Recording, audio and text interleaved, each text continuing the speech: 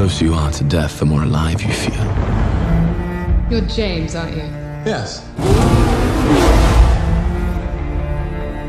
Who's that? It's Niki Lauda. He's just been signed by Ferrari. It is nobody. Look at the way he's driving like an old man. Right now, with zero incentive, why would I drive fast? Because I'm asking you to.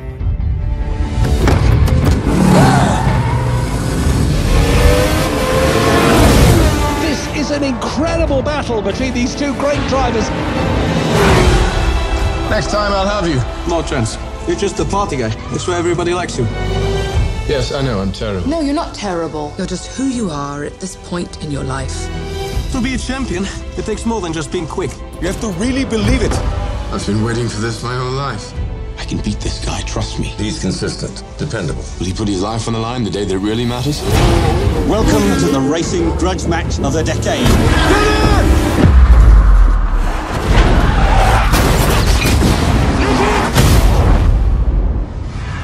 World champion Niki Lauda, trapped in a searing inferno of 800 plus degrees.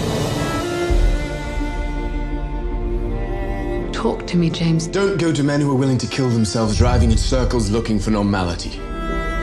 And what did your wife say when she saw your face? She said you don't need a face to drive, you just need the right foot. I feel responsible for what happened.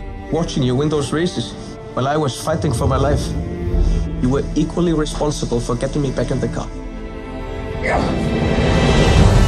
42 days after his near fatal accident, Niki Lauda will race here today.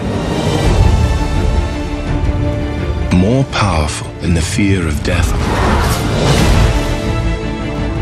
is the will to win.